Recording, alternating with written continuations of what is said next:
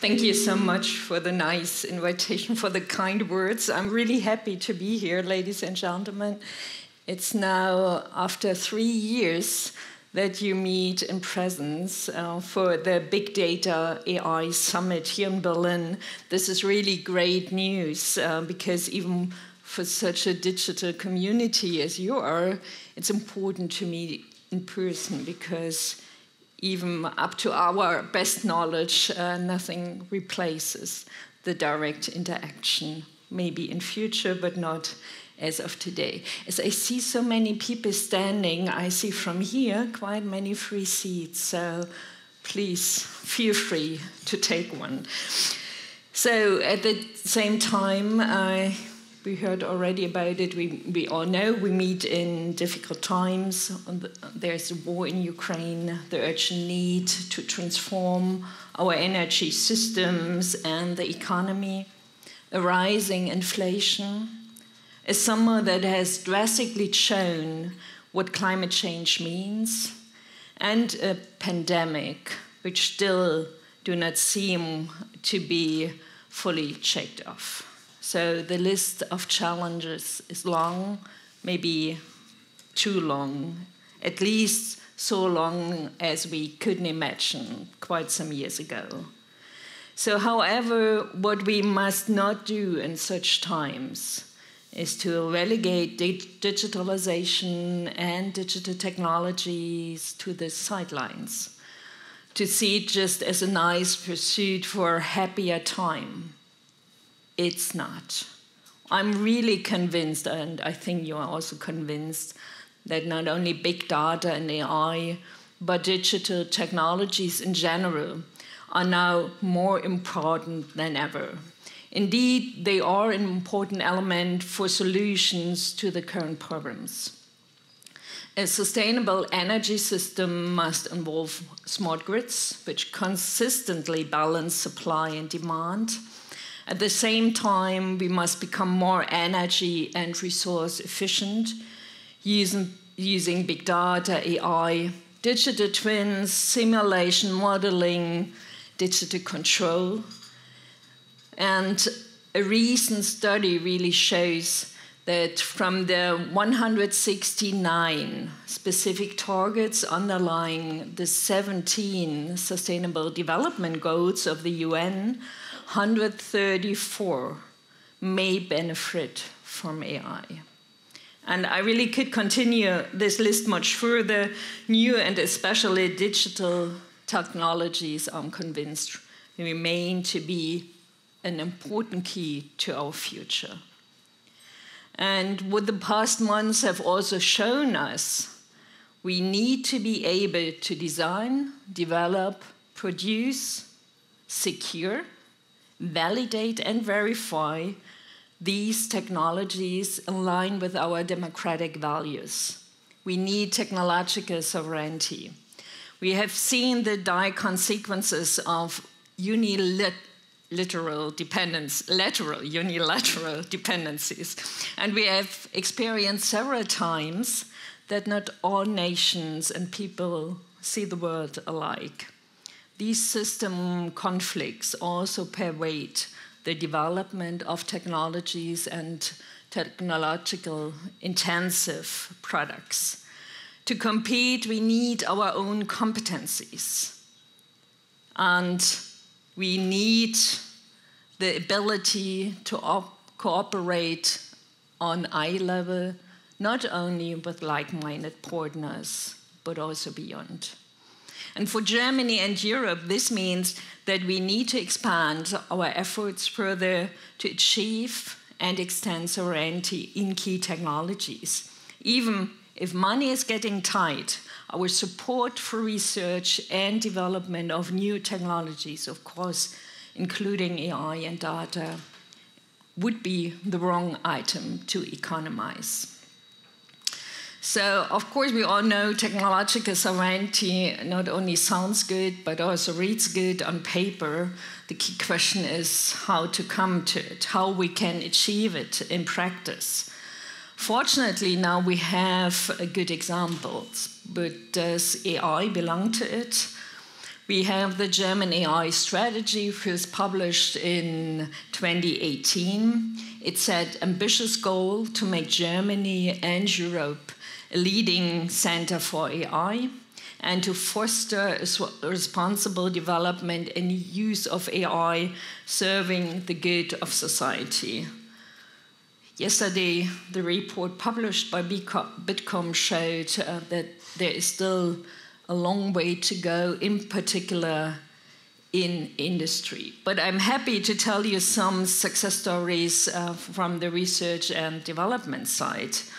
So we have established now overall six AI centers of excellence, which receive long term funding since this year.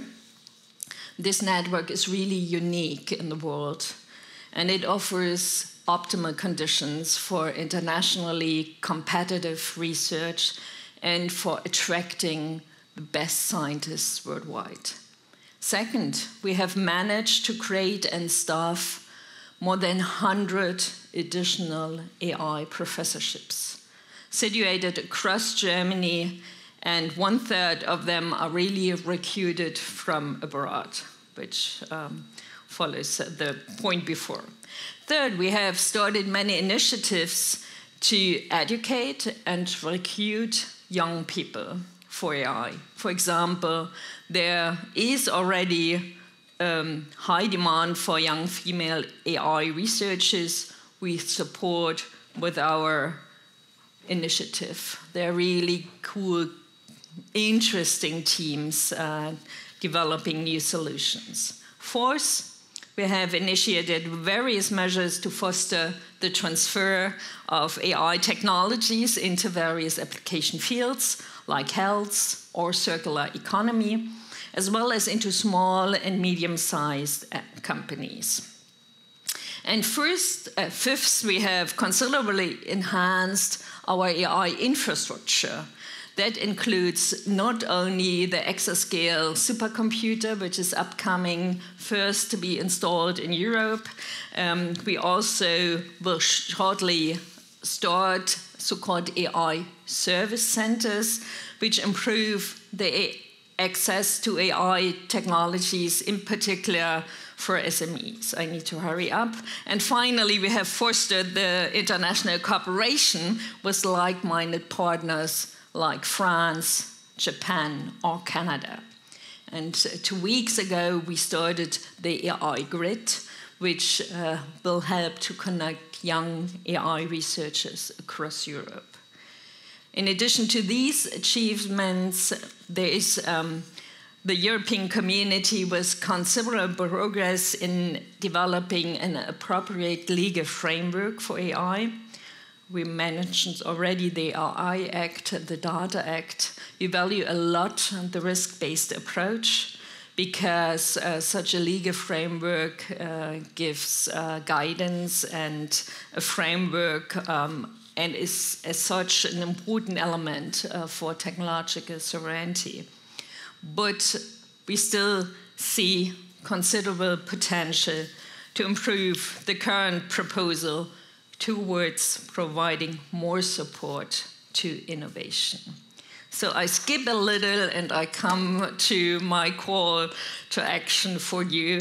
Uh, as we all see, there is a good way that we uh, took already together, but there's also still a long way to go.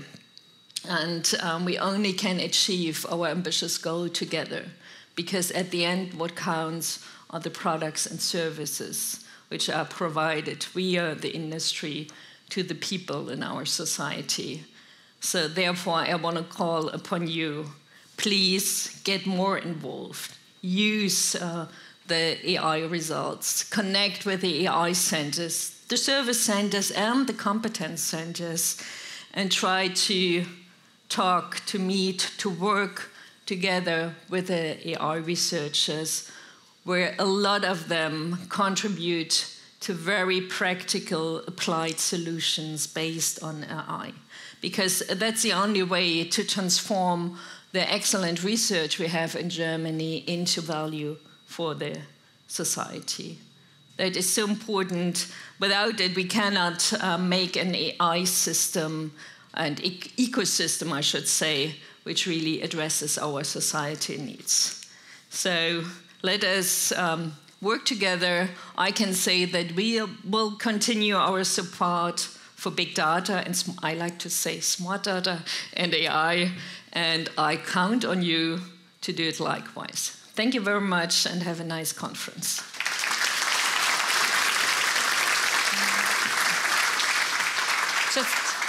Just uh, maybe if I thank you very much for, for, for giving these insights and all these um, really impressive numbers on what has already been done on the research side in, in Germany to build up a, an ecosystem of, of excellence, really, on, on, on AI.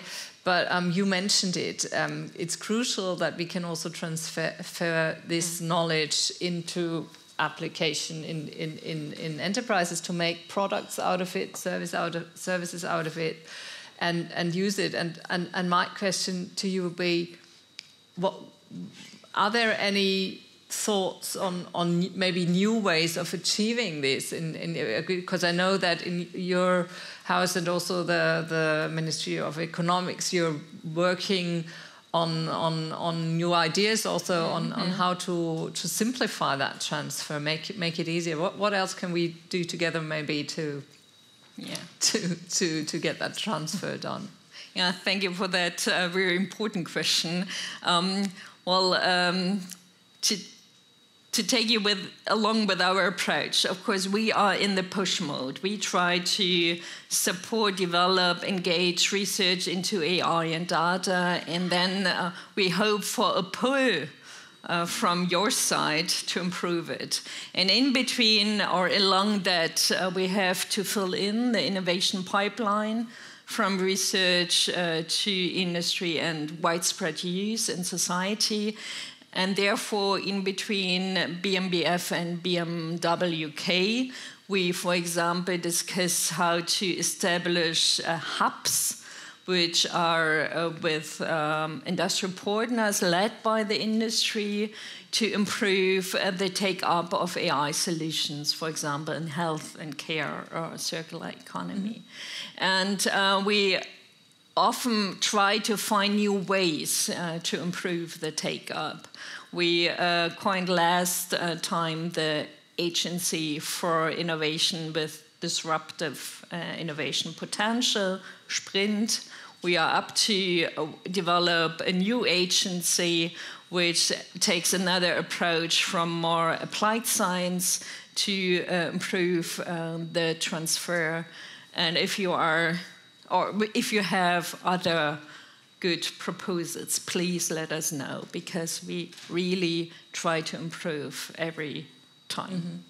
Yeah, I think that's a very, very important thought. We have to evaluate how how uh, well these these measures work in practice, and and if if they fulfill the actual uh, purpose that they were uh, made for. So thank you very much for your also your interest in in uh, the event, and um, we are always happy to exchange further on these things. I'm I'm pretty sure that there, there are many many ideas around uh, here uh, on on how to um, get this transfer going, and um, yeah. So we we I think we jump right into the program of today.